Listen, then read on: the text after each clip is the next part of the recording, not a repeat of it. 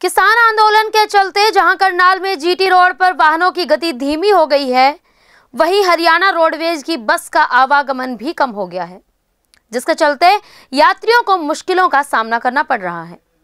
समाचार एक्सप्रेस की टीम ने किसान आंदोलन की कवरेज करते हुए जब यात्रियों से बात की तो उन्होंने बताया कि किसान आंदोलन के कारण बच्चों को, जिनकी परीक्षा है एवं नौकरी के लिए इंटरव्यू है, उन्हें बड़ी परेशानियों का सामना करना पड़ रहा है। कुछ यात्रियों ने बताया कि उनको चंडीगढ़ से करनाल हाईवे पर स्थित बस स्टैंड पर उतार दिया गया, जिससे उन्हें आने जाने के लिए कोई वाहन नहीं मिल रहा है। करनाल बस स्टैंड में बसों से उतरकर यात्री पैदल चलते दिखाई दिए। वहीं पुलिस द्वारा दिल्ली चंडीगढ़ हाईवे का आवागमन बंद कर करनाल के बलड़ी बाईपास से यमुनानगर की ओर वाहन का आवागमन शुरू कर दिया गया है। पुलिस अधिकारियों ने बताया कि वह आंदोलन के चलते दिन रात ड्यूटी कर रहे हैं। किसानों को उच्च अधिकारियों के आदेश पर दिल्ली की ओर से आने से रोका जा रहा है। वहीं किसान आंदोलन को देखते हुए करनाल उपायुक्त लगातार जीटी रोड पर स्वयं तैनात होकर दिशा निर्देश दे रहे हैं। बताते चले कि आज 27 नवंबर को भी जिला उपायुक्त के निर्देशानुसार करण लेक के पास बैरिकेड्स लगाकर पंजाब की ओर से आने वाले किसानों के काफिलों को पुलिस द्वारा रोका गया। इस अवसर पर एसपी करनाल भी मौजूद रहे। उन्होंने सभी पुलिस अधिकारियों को कानून व्यवस्था बनाए रखने की अपील की। करनाल से समाचार एक्सप्रेस की रिपोर्ट। मेरे साथ कुछ और पैसेंजर मौजूद हैं। मैं इनसे बात करने का प्रयास करूँगा। भैया आप लोग कहाँ से आए हो? सुजानपुर से। सुजानपुर से। तो कैसे आए हो और कहाँ जाना आपको? जाना मंडी गोविंदगढ़। पैदल आए हैं यहाँ से। पैदल कहाँ से कहाँ तक चले हो?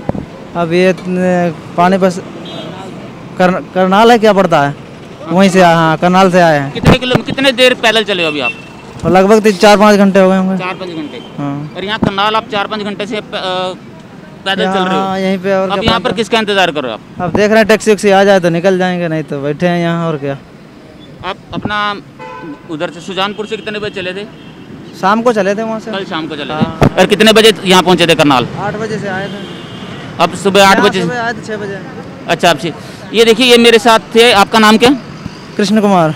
ये कृष्ण कुमार जी हैं जो कि यूपी सुजानपुर से चले थे। इनको मंडी गोविंदगढ़ जाना है। सुबह छः बजे ये करनाल पहुँच गए थे। तब से लेकर पैदल पाँच घंटे हो गए इनको पैदल चलते हुए। इनको मंडी गोविंदगढ़ जाना है। इनको अभी तक फ़िलहाल कोई साधन नहीं मिला और ये साधन के इंतज़ार में चौक पर खड़े हैं। भैया आप भी कहाँ से हैं? शहजहानपुर से। आप भी सुजानपुर से हैं। आप आप लोग कितने लोग हैं? चार बंदे हैं। चार लोग। देखिए ये चार लोग हैं जो कि सुजानपुर से हैं। उनको मंडी गोविंदगढ़ जाना है। जाम के चलते इनको काफ़ी परेशानी का सामना करना पड़ रहा है और ये तकरीबन चार घंटे पैदल चलने के बाद चौंक पर खड़े हैं, किसी साधन के इंतज़ार में खड़े हैं, कोई साधन मिले तो उनको अपने गंतव्य तक पहुँचा दें। इनका ये भी कहना है कि साधन मिल गया तो वो आगे की तरफ़ चल देंगे, अन्यथा वो यहाँ पर खड़े हैं, क्योंकि पिछले पाँच घंटे से पैदल चलते चलते अब इनकी टांगें भी थक गई हैं। कल शाम को ये अपने घर से चले थे और सुबह छः बजे से ये करनाल में ही हैं। हेलो, दोस्तों, मैं हूँ तरुण मदान और आप इस समय देख रहे हैं समाचार एक्सप्रेस। मैं आपको बता दूँ कि इस समय मौजूद हूँ मैं करनाल के बलड़ी बाईपास पर।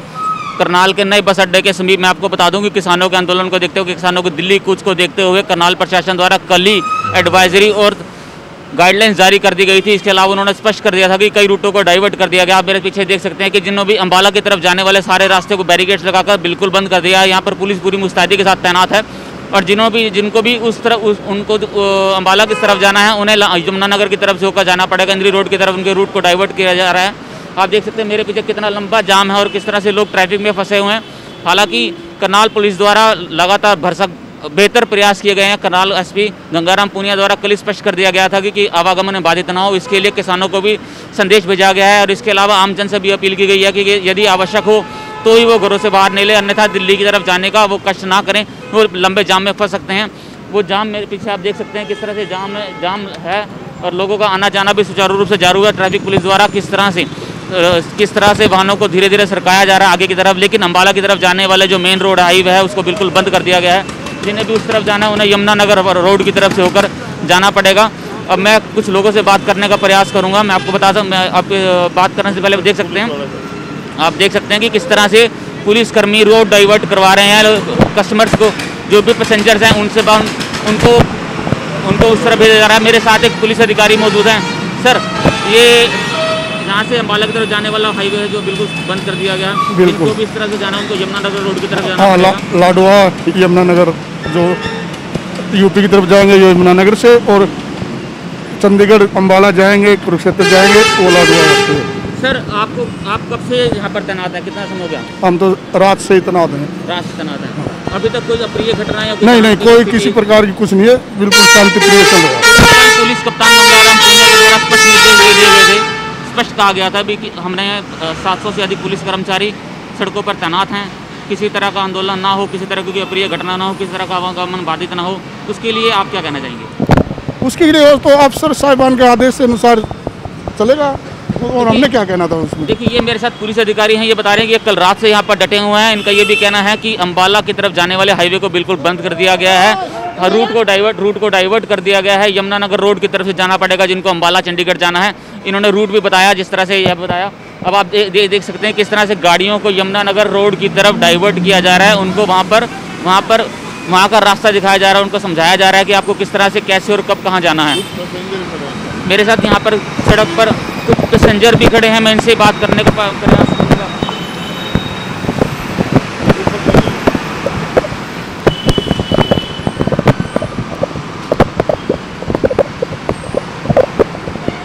नमस्कार, आप देख रहे हैं समाचार एक्सप्रेस और ये तस्वीरें हैं करनाल के कर्ण लेक से पुलिस अधीक्षक गंगाराम पुनिया और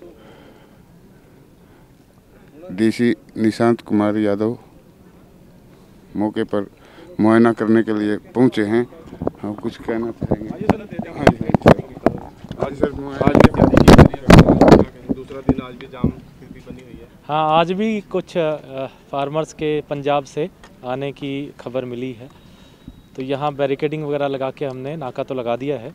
कंक्रीट बैरियर्स भी लगे हैं लोहे के बैरिकेड्स भी लगे हैं। ट्रक्स भी खड़े करवाए हैं हमारी फोर्स भी पूरी तैयार है। Water cannon fire gas tear gas वगैरह सारी हमारी अरेंजमेंट्स पूरी हैं। तो किसी भी कीमत पे हम यहाँ से फार्मर्स को चाहे वो पैदल हों बाइक्स पे हों ट्रैक्टरों में हों गाड़ियों में हों किसी को भी आगे नहीं निकलने देंगे। तो हमारी पूरी जो तैयारी है वो पूरी हो चुकी है फोर्स पूरी मुस्तैद है। दिन अब ज़्यादातर किसान जा चुके हैं दिल्ली की साइड में कुछ काफ़ी किसान निकल गए हैं उनको आगे हेल्डअप कर रखा है बाकी ज़िलों में और यहाँ से भी अब कुछ किसान जो अ, अम्बाला पंजाब बॉर्डर पे अटके हुए हैं वो अगर यहाँ से आते हैं इधर आते हैं तो हम उनको यहीं पे रोकेंगे किसी भी कीमत पे आगे नहीं निकलने देंगे। ठीक है? ऐसे ही लेटेस्ट खबरें पाने के लिए बेल आइकन को क्लिक कर हमारे चैनल को लाइक शेयर एंड सब्सक्राइब करें। धन्यवाद। JBD Banquets lie हैं incredible marriage palace Rajgharana and the finest banquet hall Jyoti Garden. World class catering, centrally air conditioned, lush green lawns, state of the art lighting. A perfect venue for wedding, launching and parties. Rajgharana and Jyoti Garden at JBD Banquets Enterprise.